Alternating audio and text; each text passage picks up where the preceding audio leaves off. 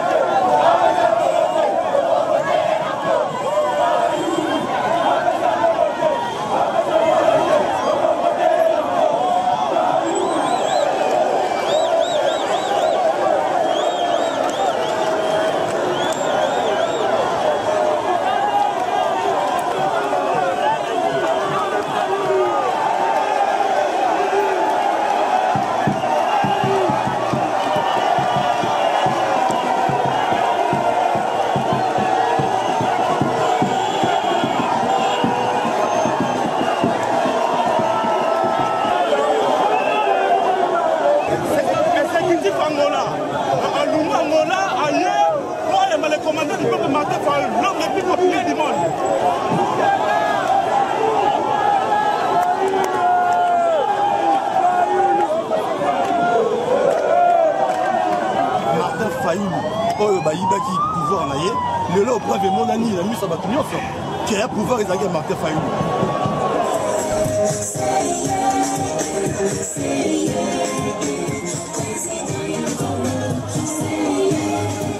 kebanga na lande na nsima yo nga nalanda ye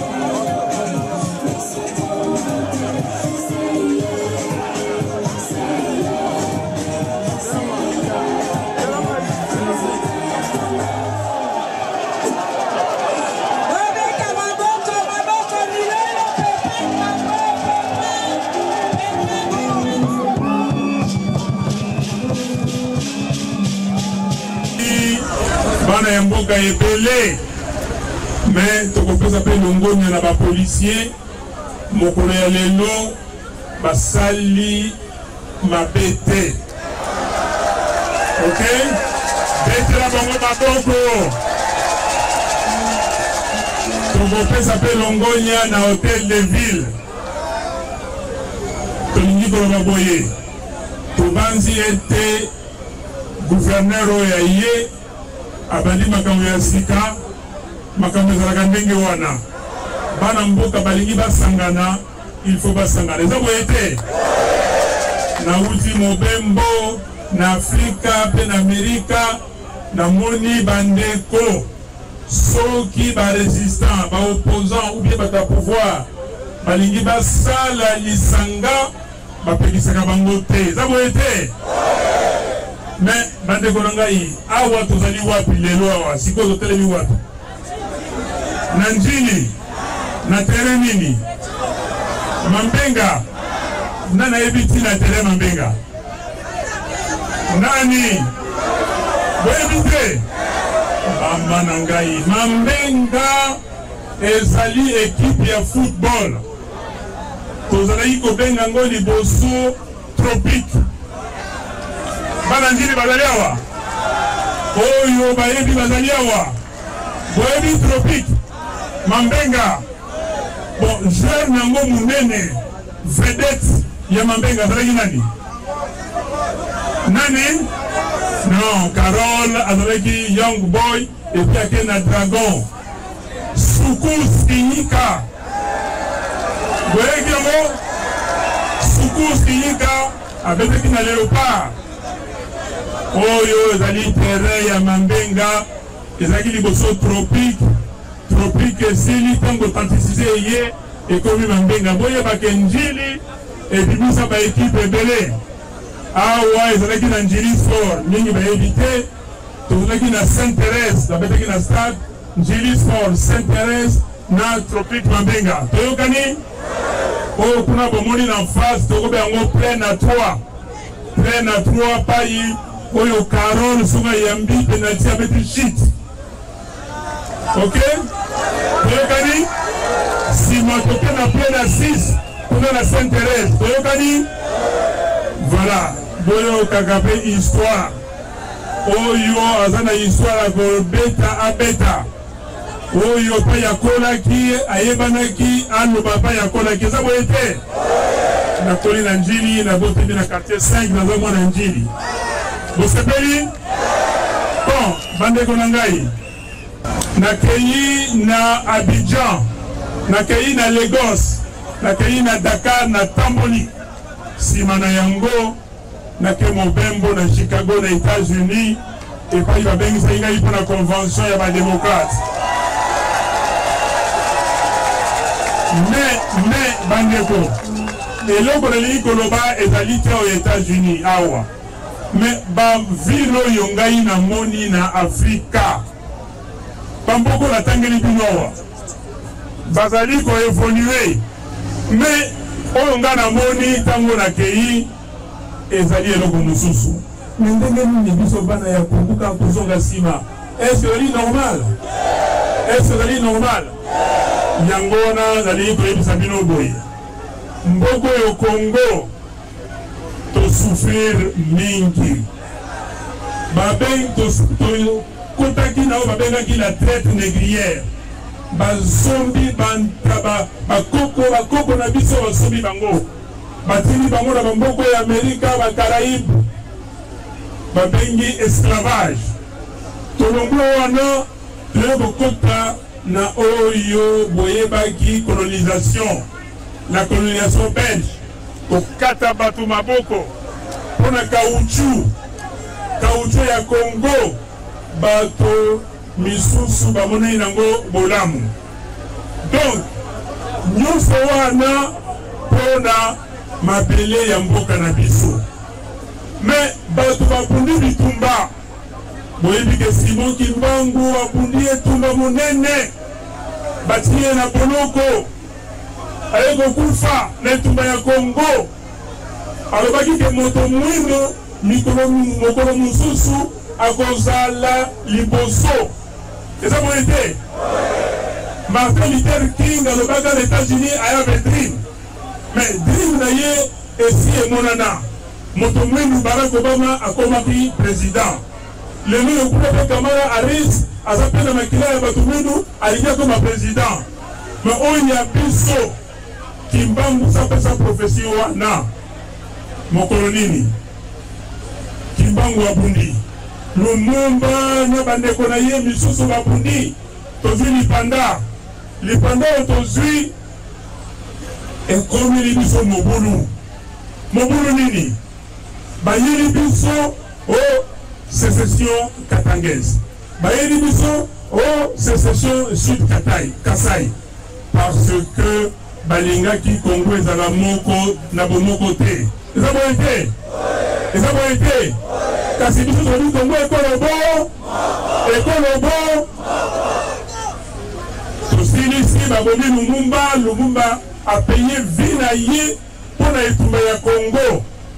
bakoseli ye makambo communiste mpo baluka moya koboma ye babomi ye Tokomi na periode 1960-1965, bitumba, secession, boye bayeli biso baforce ya ONU awa mbala mibale. Liboso babengi yango ONUC, Organisation des Nations Unies au Congo. Bayawa me bazali kobunda te kaka mpona batu baye kotala bamoni ke no moyen te fo bachange émission wana bachange yango ekomi kaka onup mais opération des nations unies au congo basali opération wana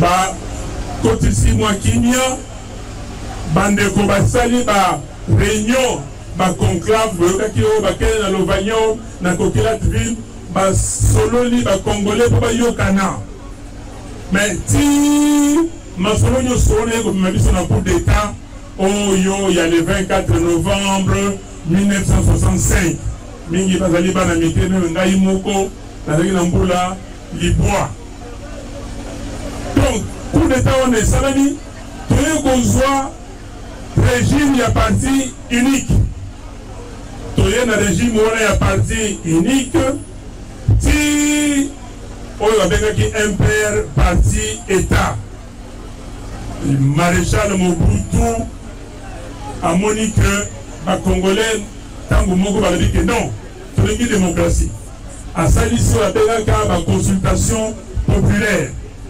baconsultation populaire wana et que ti toye kokoma na conference nationale souveraine soif ya demokratie ememi bacongolais na conference nationale souveraine boyoka yango ha mingi bazali awa bavivaki periode wana conference nationale souveraine tolobaki nini but nango objectif nango ezalaki to babengi na français la relecture de l'histoire du congo afin de trouver des solutions, afin de trouver des stratégies pour planifier l'avenir et avoir un avenir meilleur au Congo. Et lui, Bolobake, Tokotala Makambo et les Congo.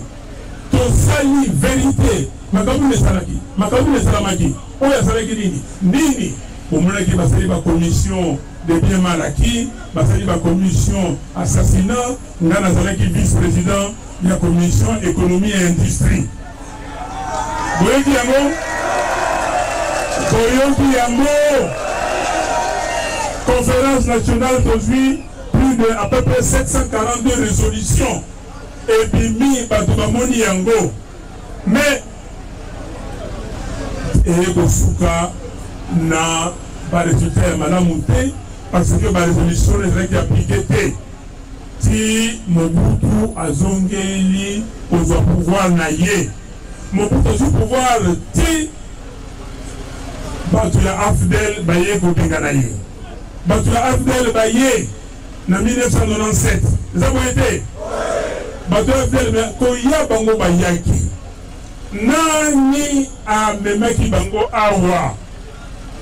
Babandi kuna na est ya pays na Kivu.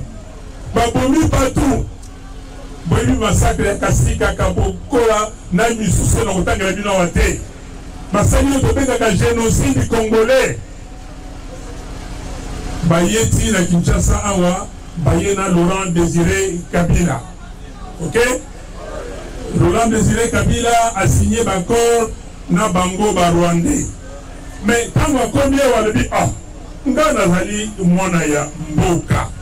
Congo ezali mboka ya bakoko na ngai. Congo ezali mabele na ngai.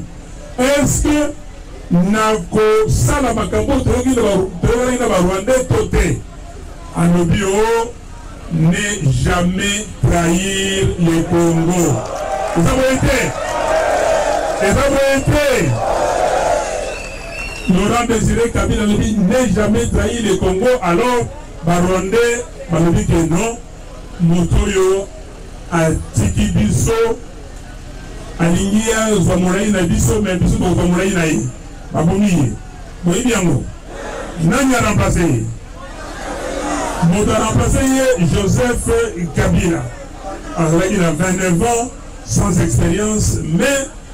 Ba dominants, bato oyo basala makambo na ndenge na bango batie ye wana. Mais ntango ye akomi, mais mboka ekoti mobulu. Ezalaki presque scission. Tokomi na trois blocs. Bloc ya liboso ya Kinshasa, après ouest na sud ya pays donc le Katanga, Kinshasa, Bandundu, Congo central et ndambo ya Equateur, bloc wana dirigé par Kinshasa. Bloc ya mibale, mlc, soutenu par les Ougandais, bango bazwi ndambu ya Equateur na ndambu ya province orientale. Bloc ya misato, RCD, bazwi oyo est ya pays. Toyokani? Mboka ekoti mobulu, mobulu, mobulu. Imbroglio wana ndenge balobaka na français esilaki ndenge nini? Parce que insecurite partout, koyokana ezali te, bomoko ezali te. Bana ya mboka na bandeko mosusu ya bapaya balobi ke no, tokotya bino esika moko, bosangana, bosolola. Bamemi biso na Sun City, bamemi liboso na Addis Abeba. Tango ba ndeko na ngai ba congolais bayaki na Addis Abeba, c'est le moment où ngai pe batindaki ngai na poste na compagnie na ngai nakende kokoma directeur general ya Exxon Mobil na Ethiopie. Nakutani na bango basali moke basololi na Addis Abeba moyen te mais ba sud africain balobi ke non boya awa biso tokosala makambo nyonso Bakei na Sun City, na Afrique du Sud, kuna bayokani ba signe oyo tobengaka accord global et inclusif. Boyebi yango? Boyebi yango? Banani ba signaki accord global et inclusif? Babengaki bango les forces vives de la nation, ba partis politiques na ba société civile. Bayokani balobi mpo na mboka na biso to signe accord, accord wana elingi koloba nini? Il faut Congo ezala na bomoko, il faut totia gouvernement ya transition. Soki otie gouvernement ya transition, gouvernement wana tokokoma constitution. Constitution ekozala adopte na referendum. Basali yango, basali gouvernement 1 plus 4, basali projet ya constitution, baye kosala referendum.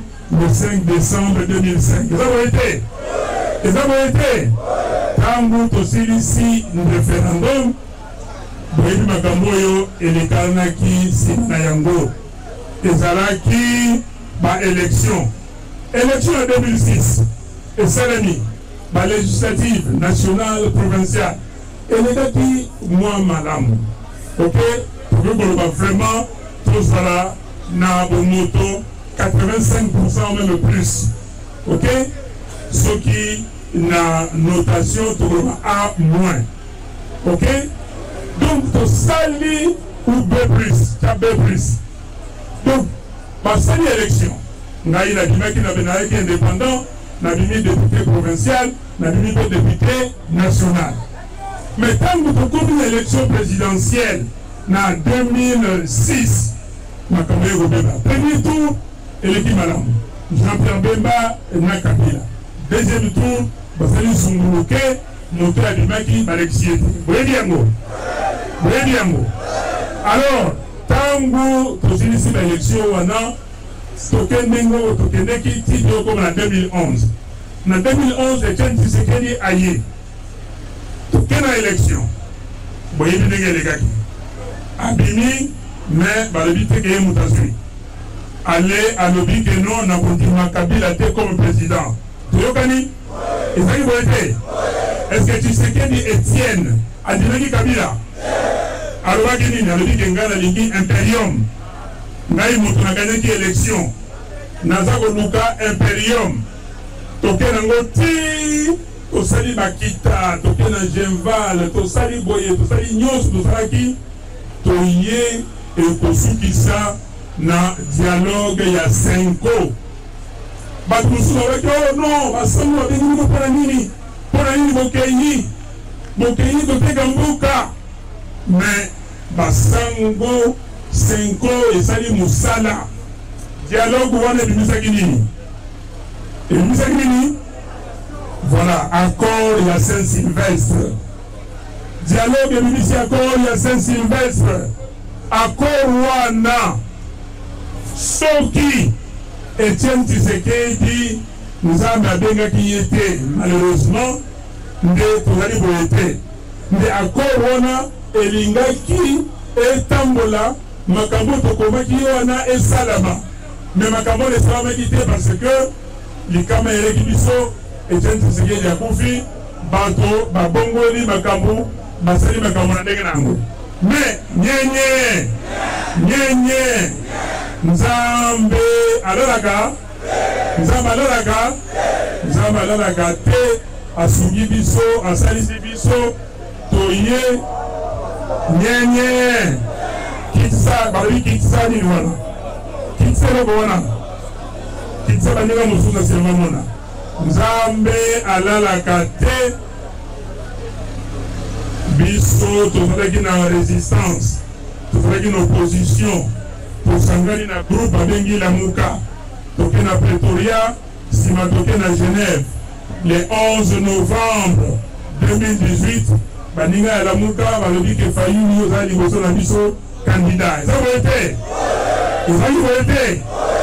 24 heures après eleki baninga mibale babimi balobi bango bakosala makambo mosusu balamu na Lamuka basali cash mais toke na élection na élection wana nini elekaki nani peuple alobi biso kaka fayulu eza boye te bovotaki nga na combien de pourcent 62,11 pourcent toyokani me ekomi kuna monsieur nanga oyo azalaki president ya seni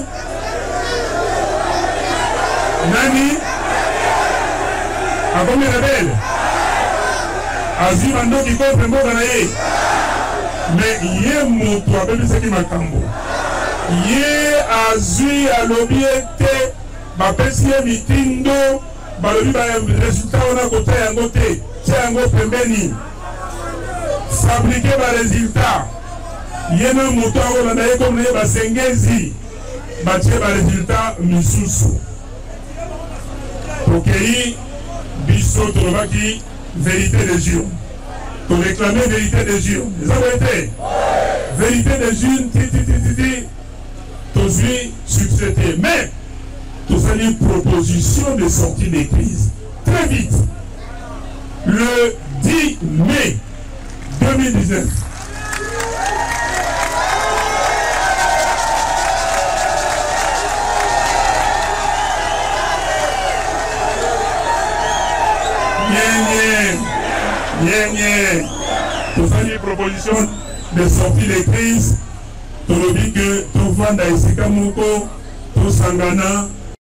oyo euti kosalema tokosala oyo tobengaki au conseil national de réforme institutionnelle tobongisa makambo mpo tokende na baélection ya malamu gouvernement wana esala oyo babengaki fcc cash basala biso tobongisa makambo totala ndenge tokosala baboyi baboyi ti baye kosala babengaki Union union sacrée boza makombo na bino boza na makombo na bino babengi yango union sacré alors bato oyo misusu bazalaki na ngai tokolaki nsambo mibale bakendeki deja le 12 novembre totikali mitano Na mitano oyo totikali, bon, soki toloba malamu, totikali mpe sambo parce que soki otie Mama Bazayiba na Pierre Lumbi mpe ya Sonam,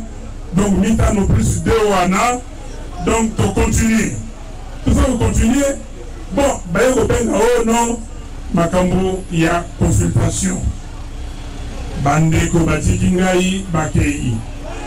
Bakei ko rejoindre union sacree.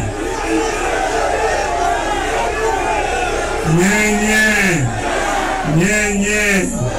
Bakei ko rejoindre union sacree. Union sacree yango oyo eza na pouvoir lelo. Mais lelo oyo union sacree na pouvoir wana. Tomoni nini? Tomoni nini? Bino bolobi eloko te, me ngai nayebisa bino eloko tomoni.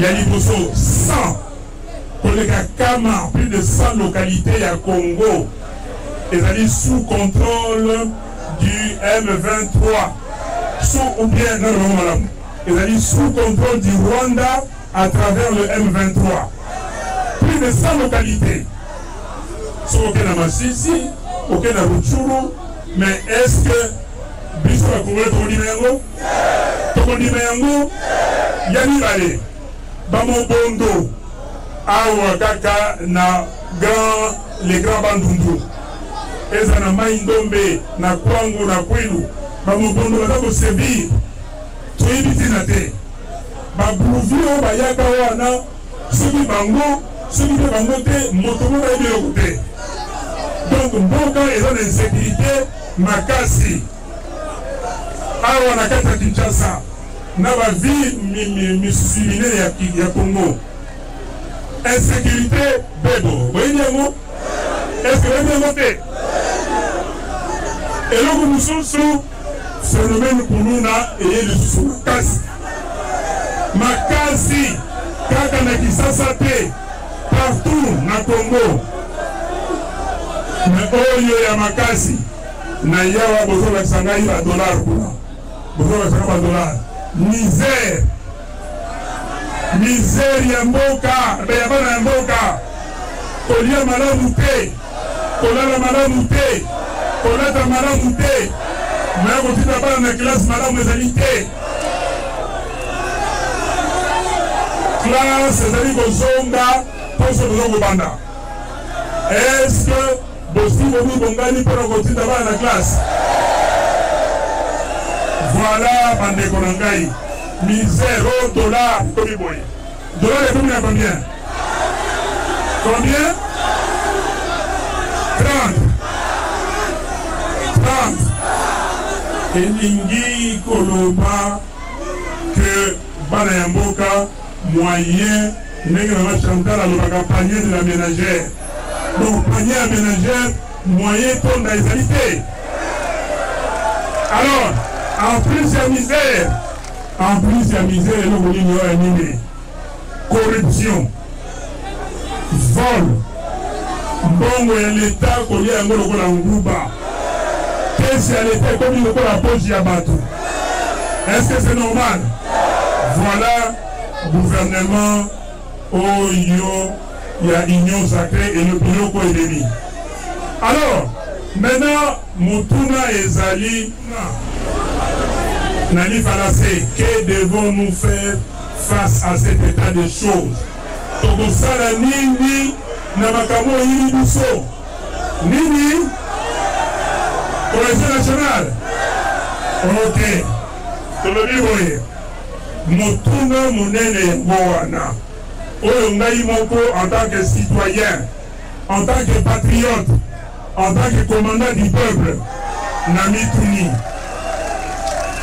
nalobi tokosala nini? Namoni deja bopesi reponse parce que koyamba okoyambi ngai banda njili ti awa bomoni ndenge bato nyonso ya ntango babimi baza kolela balobi papa cohesion nationale papa toza kolia te toza kolona malamu te bana moya kotunda bango na klase ezali te banzela ezali te eloko moko ya malamu ezali te sikoyo mboka balingi bakangola yango yango wana tolobi ke reponse na biso ezali kaka moko eza makasi te ke bana nyonso bakongole babengi bango na français les parties prenantes il faut bavanda bango nyonso biso nyonso esika moko banganga nzambe bamite mpe baprotestant bango bavandisa biso tosolola teme ekozala nini teme ezali kaka moke mokuse verité réconciliation cohesion nationale eza boye te oyo abengi nini babengi nini cohesion nini alors mpo na cohesion nationale na kolakisa bino geste tokosala ezali geste ya lisanga omoni boye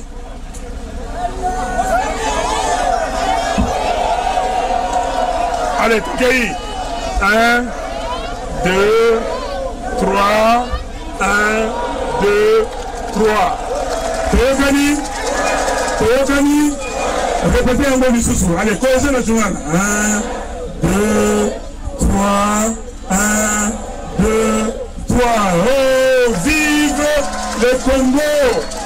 Vive le Congo! Vive Mboka ya Kimbangu! Vive Mboka ya Lumumba! Alors, tolobi ke tokenda cohésion nationale mpo na nini? Verite. Tolobi polele makambo nini elekaki ndenge nauti koyebisa bino conférence nationale baforum nyonso bato basalaki toyokani tolobi ke tozali bana ekolo moko ekolo bo bana ekolo bo nsima biso nyonso totali tolobi nini ezali te likambo oyo oh, batya gouvernement de transition yo ozwa place wana yo ozwa place ndenge basalaki 1 plus 4 te eza boye te ezali te likambo oyo oh, nde babengisaki consultation là-bas ya union sacre basali gouvernement na bango oyo ebemi biso makambo eza bongo me ezali nini ezali ke bana ya mboka bavanda mpo na korepondre na mituna misato ya liboso eloko nini tokosala Po tosilisa agression rwandaise et ougandaise eloko nini tokosala? Eloko nini tokosala po tozongisa integrite territoriale? Bolobaka mingi article 64 mais article oyo na constitution eye avant article 64 boyebi yango? Eloko nini tokosala na article wana ndenge epesi biso mobeko wana motindo wana tokende donc biso bana ya mboka tovanda to liboso totala likambo wana ya mibale tokoloba nini ndenge nini tokoregle makambo oyo eyeli biso na mboka oyo babengi megestion oyo babengi mal gouvernance oyo kuna ayibi 57 millions de dollars oyo kuna o tile genoux 130 millions oyo kuna projet de 500 de 100 jours 560 millions oyo kuna kadima na eh, seni bazwi 1 milliard 300 millions eloko basaleli eyebani te donc totala ndenge nini tokoarete makambo ya ba detournement wana ya denier public et puis totala makambo ya droit de l'homme droit de l'homme mike mukebayi azali na prison ya makala mpo na nini jean marc kabund azali na prison ya makala bambula ezokokende kaka ezokokende mpo na nini eske basali mabe oyo bato bayibi bambongo bamillion bango bayini mbongo wana babomi bato yango wana tolingi totala mpe makambo ya droit de l'homme tozala na mboka oyo mobeko baninga na ngai nauti na convention ya baninga oyo ya ya bademokrate américain bazali kosala convention na bango omoni bamosusu baza kosopose baza wana na etumba te bato ya trump bayi Bazali koloba que non, bino bolingi avortement, baza ko manifester mais baza na droit na bango.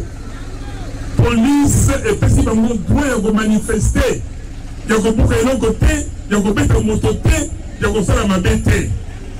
Donc totala makambo wana ya suka. Enfin, nous devons parler des réformes institutionnelles. Il faut totala makambo ba réformes institutionnelles.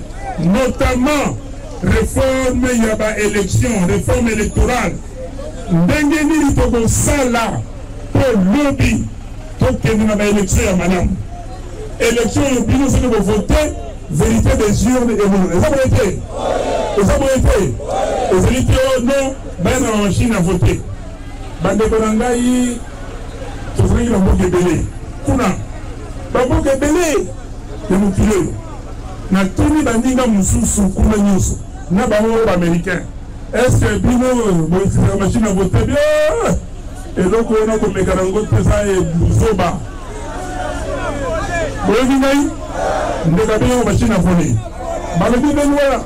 Balobi soki boyebi technologie wana malamu te, soki boyebi bato ba formule wana malamu te, ezali pasi ya pamba. Donc il faut tokende tovanda totala ndenge nini lobi toko répondre na question oyo ekomami na constitution na biso na préambule balobi ke la depuis le 30 juin 1960 la rdc donc notre pays connaît des crises récurrentes Ok, dû principalement au manque de légitimité des institutions et de leurs animateurs.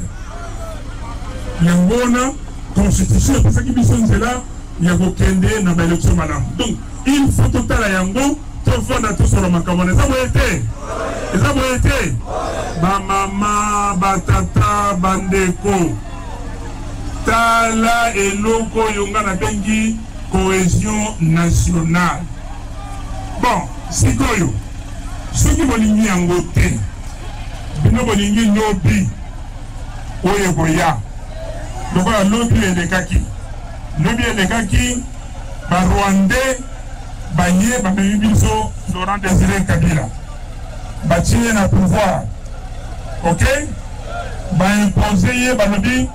Chef d'etat major ya Congo il faut azala rwandais. Boyebi yango no?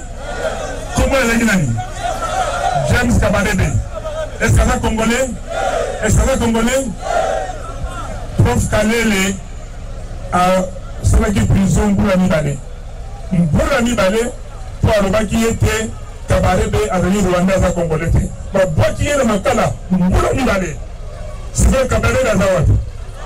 Alors bolingi lobi ba rwandais bazwa mutu moko soki bakovoye wapi soki nanga soki mpe nani baye na ye awa balobi na ye ke yo ozala president bazwi rwandais mosusu chef d'etat major bazwi rwandais mosusu batie soki wapi mais sikoyo na loboko ya ata ya zoba na poche ya zoba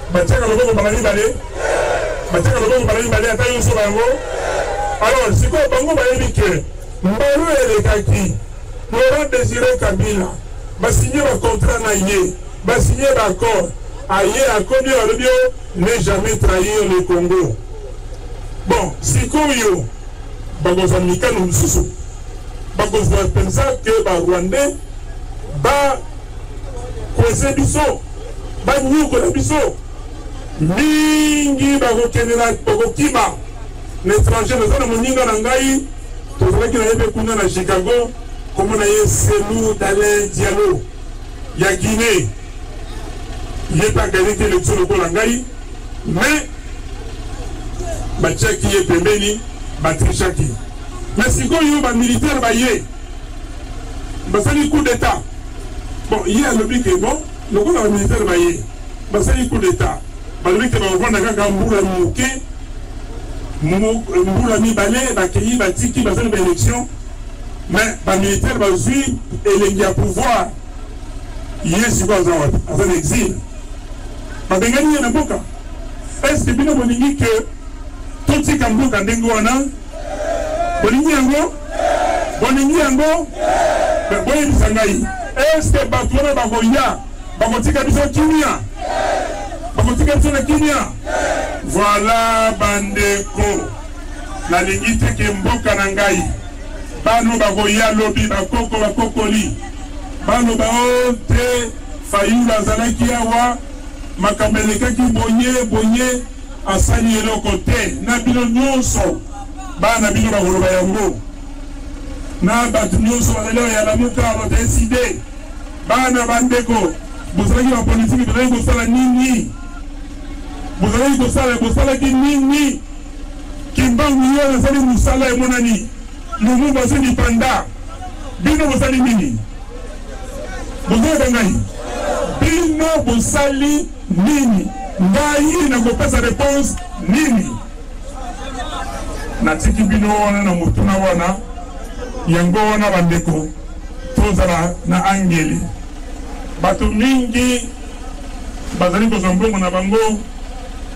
toyebi te misusu bazwaka mbongo kaka na koteka bato misusu akomimisa makambo ya lokuta etusa azwa mbongo ok mais awa tozali na congo nzambe azali monene verite ezali verite balobaki yango ezaka na escalier mais esalaka nini esalaka nini oyo bakoya na lokuta na sancer Verite ekoya na escalier pe ekomaka yango wana moto akosa bino te mais bandeko mpo na kosukisa bino bokozonga boza na kisasa awa lokola bapolisie bakotya bino kokoso te bokozonga malembe na ndako bokobundisa baninga te bandeko oyo bazali na est Bandeko oyo bazali na Beni, na Tanga kaka, na Ituri, est-ce que bazali na securite lokola bino? Bazali na nini na securite lokola bino? Bayebi mpe bakolala lelo? bayebi epai ya kolala lelo alors baoyo Bazali kobeta tangwa parce que bango bakozwa mbongo na ndenge na bango, balingi te ke mboka ezala na bomoko. Est-ce que tokondima yango? Tokondima yango? Bandeko ya Congo, maloba nayelaki bino yango wana. Napesi bino melesi mingi. Bomibetela maboko, bobetela mpe bandeko oyo batikali na nzela, oyo bazongi, balobi ke butu ekomi mpo bazonga, bawuti Tshangu, bawuti Kingasani, Kimbanseke, mosika. Betela bango maboko, betela bandeko ya Lamuka, ba organisateur, betela bandeko, botelema bandeko ya NCD oyo bazali awa. ba organise makambo oyo nyonso ok nyenye kokende te kokende te mpo na kobakisa bomoko na biso nalingi biso nyonso simela na mikro nalingi biso nyonso ngai na kosimba oyo baza na nini ya cohesion nationale batie yango awa Oyo baza na biloko ya Congo ekolo moko batie yango awa. Oyo baza na yango te bosali boye. OK? Cohesion nationale. Cohesion nationale. Donc soki tozali koyemba hymne nationale. OK? Na nzembo wana na ba nsinyi wana. Debout congolais unis par le sang